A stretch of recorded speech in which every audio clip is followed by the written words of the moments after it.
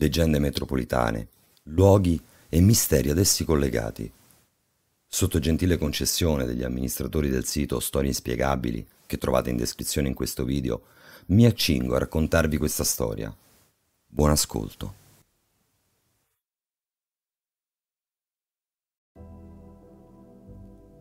Chi è stato a Torino non ha potuto non collegare l'atmosfera magica che la circonda e la permea in ogni strada in ogni palazzo. La città, che guardata con attenzione, rivela particolari inquietanti e tra questi si può annoverare la porta dell'inferno. Piazza Statuto, già nelle antiche credenze esoteriche, si contrapponeva a Piazza Castello, che era considerata nella Torino magica il simbolo della luce e delle forze positive. Secondo queste leggende, all'interno della piazza, probabilmente nel sottosuolo, si troverebbe la porta dell'inferno, data la sua posizione, allineata al 45 parallelo, fungerebbe da vertice a due triangoli della magia. Uno bianco che comprende Torino, Lione e Praga e uno nero con Londra e San Francisco. Gli esperti di esoterismo localizzerebbero il vertice di questi triangoli proprio in piazza Statuto.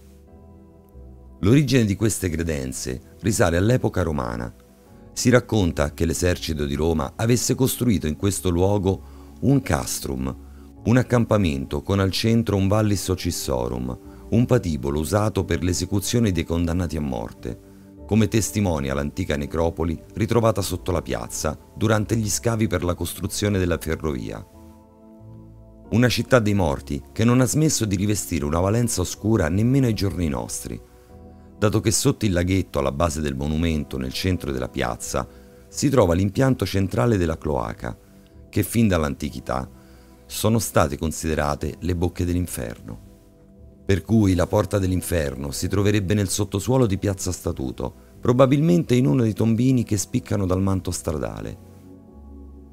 Il cuore nero di Torino ospita forti simboli esoterici che, gli esperti, attribuiscono alle forze oscure, in particolare il monumento del Frejus, costruito dall'ingegnere German Sommelier, come omaggio ai minatori caduti durante i lavori del traforo, che emanerebbe un forte potere oscuro.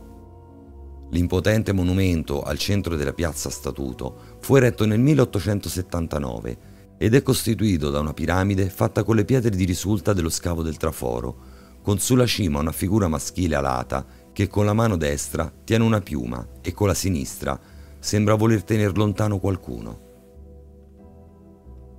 Il monumento, oltre che essere un tributo ai minatori, è anche l'allegoria del trionfo della ragione sulla forza bruta, dato che il genio alato che domina dall'alto sembra difendersi da creature, probabilmente titani, che cercano di arrampicarsi sulla piramide.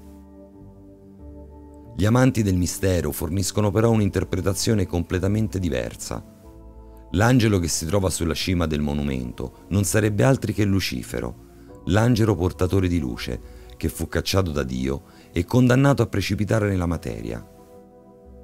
Secondo questa interpretazione, Lucifero guiderebbe le forze dell'oscurità, guardando con aria di sfida verso l'Oriente, luogo dove sorge il sole, ovvero la luce, in altre parole, le forze del bene. C'è un dibattito ancora aperto anche sulla stella a cinque punte posta sulla testa dell'angelo.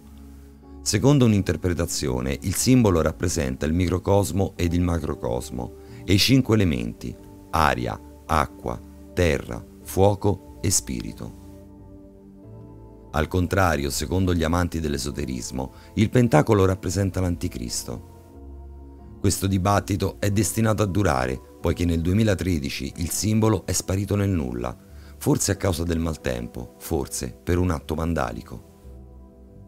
Sia come sia, questa piazza contribuisce effettivamente ad accrescere la fama della cosiddetta Torino magica, una città dove si concentrano le forze del bene e del male.